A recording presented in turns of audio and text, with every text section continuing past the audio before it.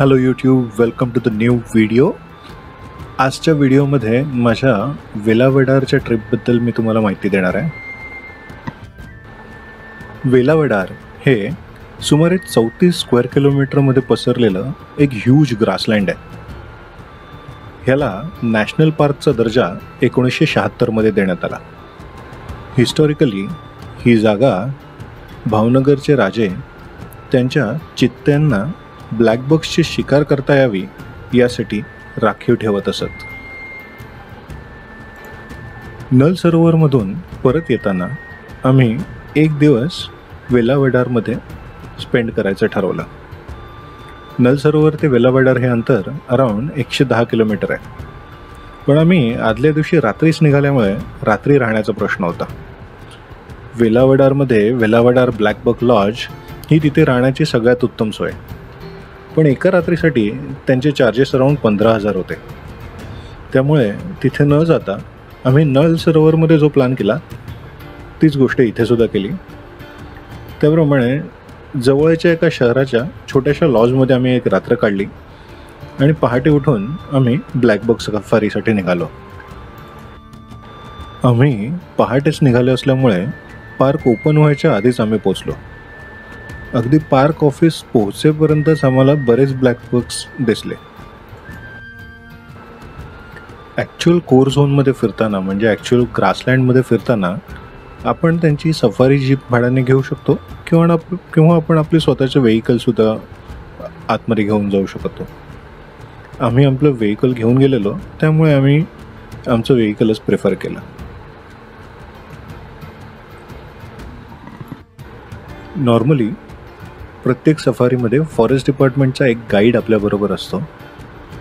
आमच्या स्वतःच्या गाडीचा एंट्रन्स फी आमची स्वतःची एंट्रन्स फी ही धरून टोटल अराऊंड सतराशे अठराशे रुपये झाले होते. जर आम्ही त्यांची जिप्सी घेतली असती तर चार्जेस अराऊंड साडेतीन हजार का तीन हजार सहाशेच्या आसपास होते. एक गोष्ट महत्त्वाची म्हणजे तिथे कुठलाही पेमेंट ऑप्शन्स अवेलेबल नाही आहेत so U P I GPay किंवा क्रेडिट कार्डसुद्धा तिकडे ॲक्सेप्टेड नव्हते. तर तिकडे सगळे ट्रान्झॅक्शन्स कॅशमध्येच करायला लागत होते. So it's a small amount पण जर जाणार असेल तर नक्की तेवढी कॅश बरोबर घेऊन जा. सकाळी सात वाजता त्यांनी आम्हाला आतमध्ये एंट्री करून दिली. आणि आमचं पहिलं लक्ष होतं ते म्हणजे ब्लॅकबक ब्लॅकबक्सचे मनसोक्त फोटो काढून मगच दुसरीकडे वळायचं असं आम्ही ठरवलं. ब्लॅकबक्स म्हणजे काळवीट. किंवा इंडियन अँटिलॉप काळवेटच्या ॲडल्ट नर हा काळ्या रंगाचा असतो. म्हणूनच त्याला मराठीत काळवेट आणि इंग्लिशमध्ये ब्लॅकबक म्हणतात.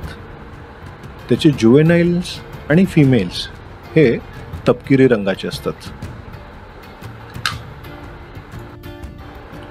आधी भारतीय उपखंडात म्हणजेच इंडियन सबकॉन्टिनेंटमध्ये सर्वत्र दिसणारा हा प्राणी आता पाकिस्तान आणि बांगलादेश या देशांमधून पूर्णपणे एक्सटिंक्ट झाला आहे भारतातही आधी एक्सेसिव्ह शिकारीमुळे त्याचा नंबर याचा आकडा खूप कमी आला होता. आणि आता हा फक्त प्रोटेक्टेड एरियाजमध्येच खूप मोठ्या प्रमाणात आढळतो.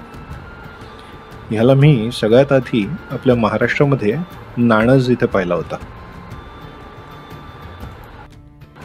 काळविटांचे भरपूर फोटो काढल्यानंतर आम्ही आमच्या गाईडला रिक्वेस्ट केली की इथलं बाकीचं वाईल्ड लाईफ जरा आपण एक्सप्लोअर करू. त्यानंतर आम्ही आम्हाला तो एका वेगळ्या ट्रेलवर घेऊन गेला.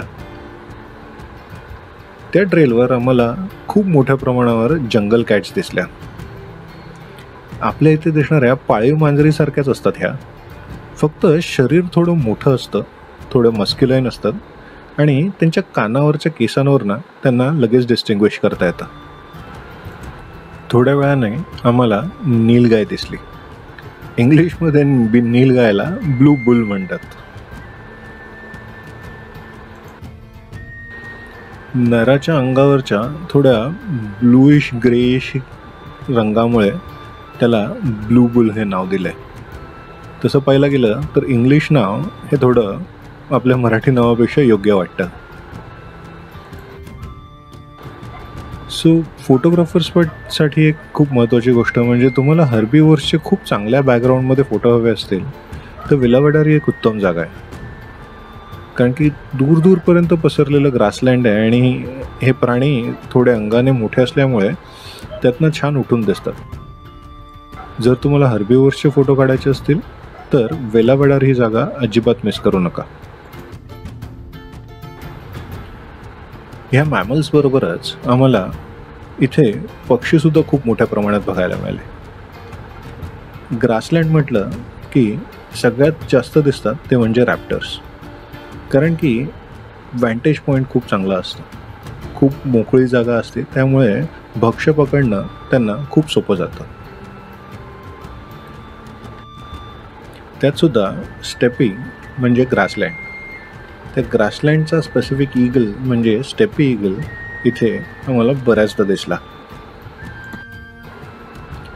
इथे आम्हाला ग्रेटर स्पॉटेड इगल सुद्धा बघायला मिळालं. ग्रासलँडमध्ये असणाऱ्या ॲनिमल्सचं सगळ्यात आवडणारं भक्ष्य म्हणजे सरपंट्स कारण त्यांना लपायला खूप कमी जागा असते. त्याच सरपंचला मारून खाणारा हा शॉर्ट टोड स्नेक ईगल कापसासारख्या पांढऱ्या रंगामुळे नाव मिळालेलं ही कापशी किंवा ब्लॅक शोल्डर्ड काईट ग्रासलँड्स म्हटलं की इथे नक्की दिसतात ते ग्रे फ्रँकोलेन्स ह्यांना मराठीत करडे तितर म्हणतात. इथे आम्हाला इंडियन थिकनी सुद्धा बघायला मिळाली. ती आमच्या कारच्या इतक्या जवळ होती की तिचे खूप छान क्लोजअप फोटोजसुद्धा मिळाले. ग्रासलँड्समधली आणखीन एक कॉमन गोष्ट ती म्हणजे हा क्रेस्टेड लार्क हा इथे खूप मोठ्या प्रमाणात आढळतो. त्याचप्रमाणे हा कॉमन बॅबलरसुद्धा आम्हाला इथे पाहायला मिळाला. हा माझ्या ह्या ट्रिपमधला एक लायफर होता. इथे आणखी एक इंटरेस्टिंग गोष्ट बघायला मिळाली. तो म्हणजे हा ब्लॅक ड्रॉंगो याने हा पेंटेड ग्रास हॉपर पकडला होता आणि त्याचे लसके तोडून त्याला खात होता. विलावडर नॅशनल पार्कमध्ये एक पाणवठा आहे. तिथे आमचं छान बर्डिंग झालं. तिथे रोझी पेलिकन्स खूप मोठ्या प्रमाणात बघायला मिळाले. तसंच एक खूप मोठा ग्रुप होता ग्रेटर फ्लेमिंगोसचा त्या पाणवठ्याच्या पलीकडच्या टेकडीवर हे डेमोसेल क्रेन सुद्धा बसलेले बघायला मिळाले. शेवटी आमच्या गाईडने आम्हाला एका जागेवर थांबायला सांगितलं. त्याला त्या ठिकाणी लेसर फ्लोरिकन बऱ्याचदा दिसल्याचं तो म्हणाला. तेवढ्यातच लेसर फ्लोरिकनची एक फिमेल आमच्यासमोर आली आणि पटकन झुडपामध्ये गायब झाली. आमच्याबरोबरचा प्रवीण पिल्लई कॅमेरा काढून रेडी असल्यामुळे त्याला त्याचा रेकॉर्ड शॉट तरी मिळाला.